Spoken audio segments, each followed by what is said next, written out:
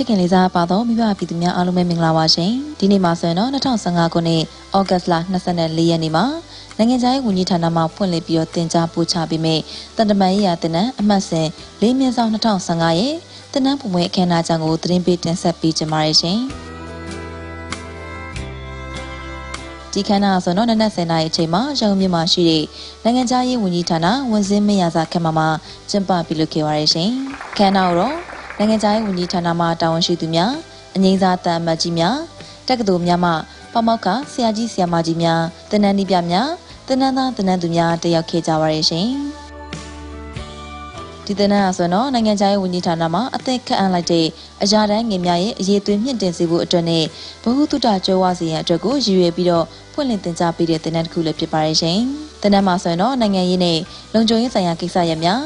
နိုင်ငံတကာနဲ့ပြည်တွင်းစီးပွားရေးနိုင်ငံတကာဆက်ဆံရေးရင်းကျေးမှုနဲ့လူမှုရေးဆိုင်ရာကိစ္စရပ်များတန်တမန်ရေးရာကောင်စစ်ရေးရာနဲ့ဥပဒေရေးရာကိစ္စရပ်များဆက်ဆံရေးကျွမ်းကျင်မှုဘာသာရဲ့အုပ်ချုပ်ရေးနဲ့ဗန္ဒာရေးဆိုင်ရာကိစ္စရပ်များတန်ကင်းတမန်ကင်းဆိုင်ရာဘာသာရပ်များနဲ့အာဆီယံရေးရာများကိုတင် जा ပို့ချပြီးသွားမှာလည်းဖြစ်ပါတယ်ရှင်ကျွန်တော်တို့အတူကောက်အဖြစ်တော့ CID လို့ခေါ်တယ် CID အပတ်စဉ်၄ပါး အဲ1နှစ်3ဒါ၄ချိန်မြောက်ပေါ့နော်သူ့ကိုသင်မဲ့ဘာသာရပ်တွေကတော့ဒီတဏ္ဍမန်ဝန်ထမ်းဒါမှမဟုတ်တဏ္ဍမန်အရာရှိငယ်တွေကိုသူတို့လုပ်ငန်းလုပ်ခိုင်းတဲ့အခါမှာထိထိရောက်ရောက်နဲ့အောင်အောင်မြင်မြင်လုပ်နိုင်အောင်အတွက်လိုအပ်တဲ့ပညာတွေကိုပေးရတာပေါ့လေအဲ့တော့ဘာသာတွေကတော့တော်တော်များပါတယ်ဘာသာကတော့စုံနေတယ်သူတို့ရဲ့ဒါ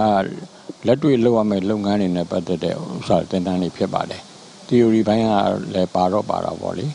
ညာတော့အဖြစ်တော့သူတို့ဒီ career တစ်လျှောက်မှာတွေ့ရမယ်အလုပ်တာဝန်တွေပေါ့အဲ့ဒါတွေကိုပုနဲ့ပတ်သက်ပြီးပို့ချတာပါကျွန်တော်ကတော့ဒီမှာတော့ဟိုဘာသာတော့၃၄မျိုးလောက်ရှိတယ်ပို့ချမှာ bilateral and multilateral negotiation ဆိုတာပို့ချမယ်အဲ diplomatic language and vocabulary ဆိုတာရှိတယ် နောက်ပြီးတော့ international diplomatic etiquette ဆိုတာရှိတယ်အဲ့ဒါရှိပါတယ်အဲအထူးသဖြင့်တော့ခုနပြောလို့သူတို့ရဲ့မနေဘောလုပ်ငန်းကရိယာမှာအဲကြုံတွေ့ရမယ့်အလုပ်တွေကိုအခုကြိုတင်ပြီးတော့ဒါတင် जा ပို့ချထားပြီးတဲ့အတွက်တကယ်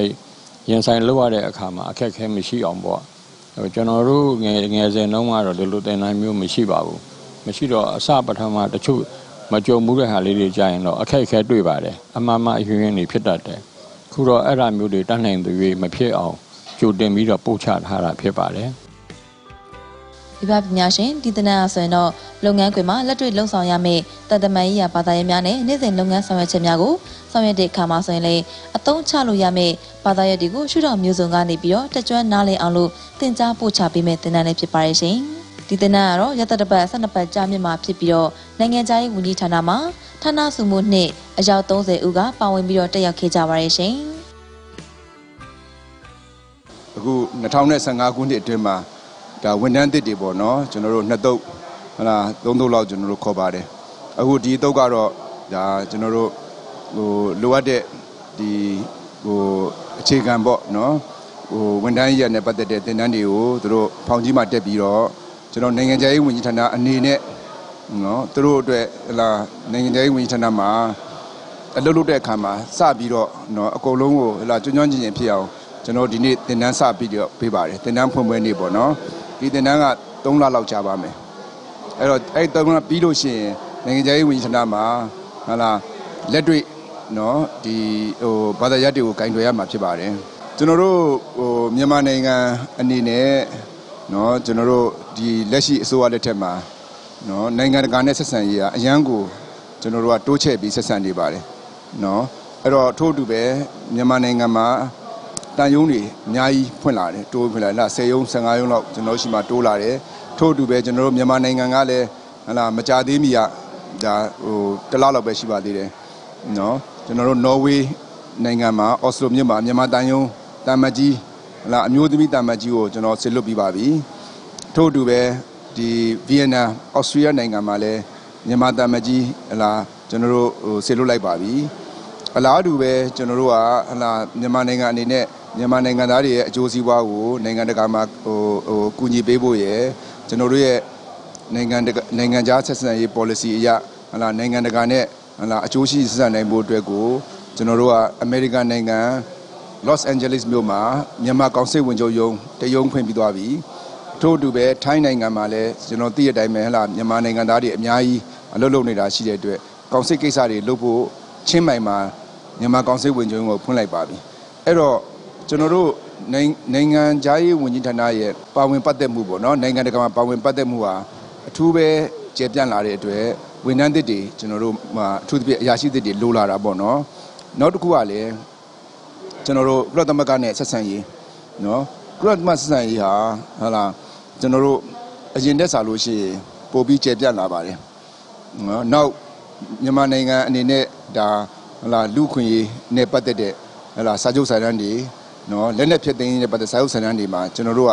ဟလာလက်မှတ်ထိုးတာတွေရှိတယ်အတီးပြုပါဝင်တာတွေရှိပါတယ်